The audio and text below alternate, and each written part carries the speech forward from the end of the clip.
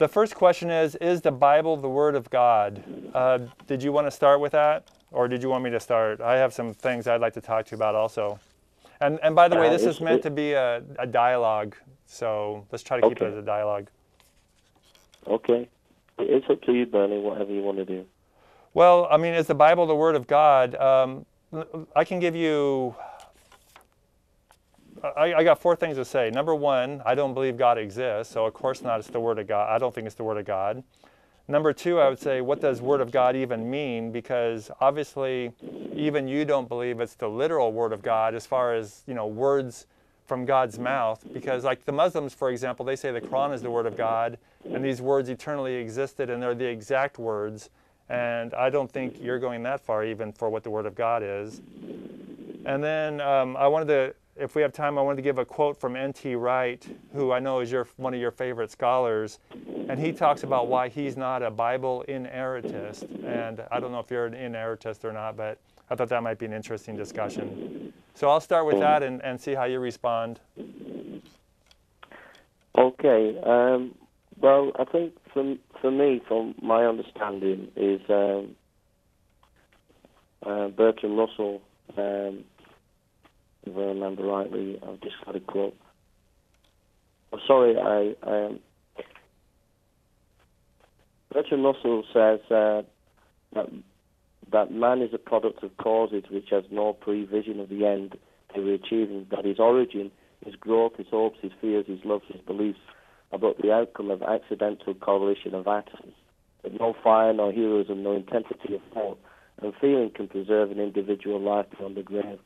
That all labours of the ages, all the devotion, all the inspiration, all the noonday brightness of human genuine are destined to extinction. And the whole temple of man's achievements must inevitably be buried. All these things, if not quite beyond dispute, are yet so nearly certain that no philosophy which rejects them can hope to stand. Only within the scaffolding of these truths, only can the soul's habitation henceforth be safely built. Bertrand Russell, I am not a Christian. And for me, the reason why I be- believe the Bible is it gives me an understanding of history, of understanding of logic, of understanding of morality, where there is meaning, where if I took your position, I would end up what Russell says, is that everything has no meaning and everything's pointless. Well, you know, I mean, a couple of ideas I have. I mean, first off, I think we have to believe what is true. So, if what Bertrand Russell said is true, I, I don't think we can say, like, well, let's not do it. Let's believe the Bible instead because it makes me feel good. I think we want to agree that we have to follow what's true.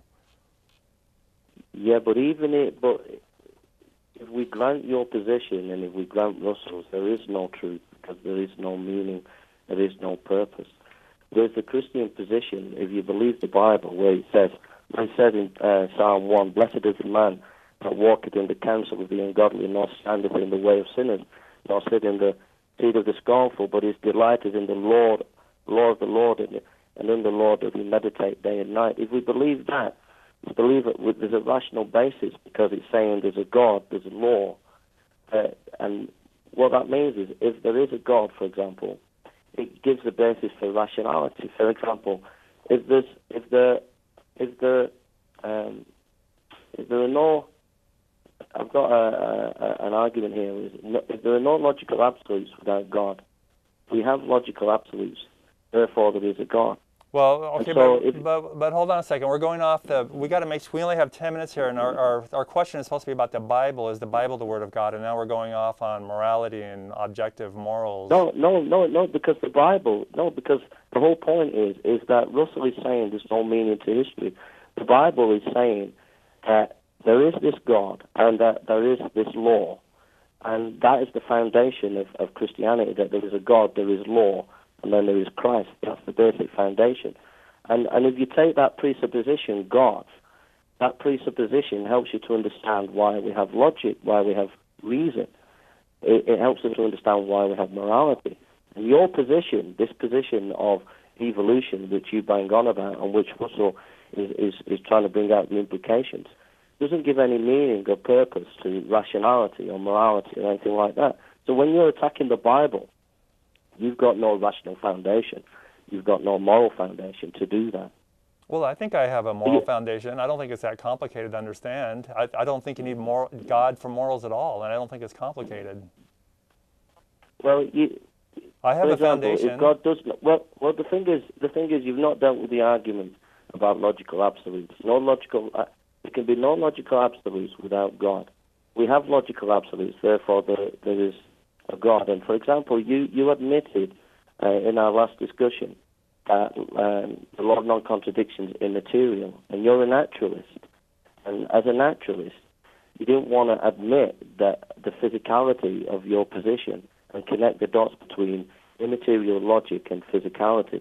So, for example, if I believe that the God, if I believe the Bible it tells me there's a God, and then I'm trying to think about what rationality is, it helps me to connect the dots. If God's rational, and it helps me to understand that why logic is immaterial and why we can have logical absolutes.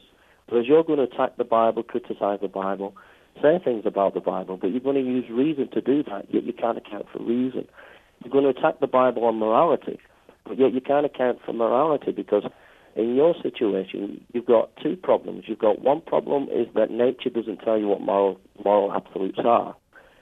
So you have the problem, what is called the is ought distinction. Wait, wait a second, wait a which you brought second, wait a second. We're, we're getting away from a discussion. I mean, you're kind of going into a lot of, I don't know, maybe a sermon or, or one way discussion here. Why don't you ask me a question or something about the Bible being the Word of God?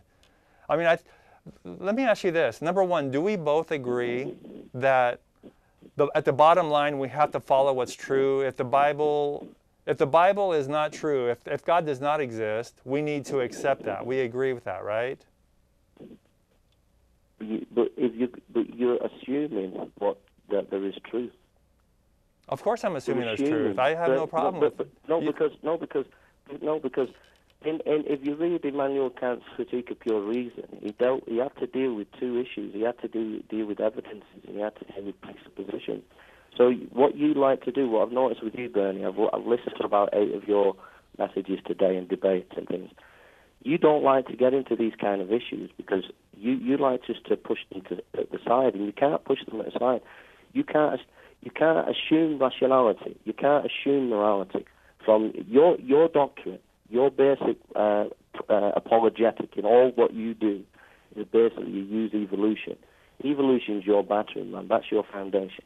Now, if that's your foundation, you've got to live logically to that foundation. So when we're coming to the Bible, is the Bible the Word of God? You're Wait, wait, wait, wait, wait, can we- You're, you're, wait a minute. You're assuming truth and you're assuming morality, and you've got to account for them before you can even begin begin the debate. So let's maybe start at the very beginning. You said I have no basis for for logic or no basis for truth as an atheist. Yes, yes. Well, I believe that we can determine the truth through scientific thinking. And the reason Okay. why I believe that is because it works. And if there's a better method that works, science will figure it out and it will become a part of the scientific method. There's no God Okay. needed for that. And in fact, what Oh. happens is as science progresses, it disproves all these God concepts like, oh, God makes the world go round or something. We find out about gravity and all these other things. Okay. The more Well, we learn about science, the more we learn about how the Bible is ancient superstition. Okay. Uh, Thomas Nagel is an atheist. Um, he's been very troubled about evolution, been very, very troubled. And he's a, one of the major philosophers in America. He said, if I believe, the, if I go with evolution, he said, it destroys itself. And I've tried to bring that up to you before. Okay, but, but but wait a second. You say you say if, if he doesn't believe in evolution, what does he believe in as an atheist? Listen, okay, let me just finish. Let me finish. If I said he's troubled. And it's troubled because it implodes on itself, which I tried to bring up with you before, because it's not a rational basis. That process is not rational. So therefore, when you're trying to be rational. rational, your, your own foundation is irrational. And, and uh, even an atheist like Thomas Nagel mentioned that. So when you're talking about science and uh, the development of science and all the rest of it, your whole foundation is irrational. It, it's, by, it's irrational. You, You, know, you- you said evolution- you said my foundation is irrational, but you never explained why. I don't believe it is irrational. I believe my my, Well- my position is rational. I believe yours is superstitious. Well, you've not accounted. You've not accounted. You've not accounted why you said in the last video that logic is immaterial, and you've not actually explained that yet. So, What do you mean? what's what's so hard had- to explain about logic being immaterial? I mean, obviously, logic is immaterial. It's not made out of electrons and protons. That's a concept. Are you? A, but are you a philosophical naturalist? Yes, of course. Yes. So, is everything that you know physical? Not physical. It's natural.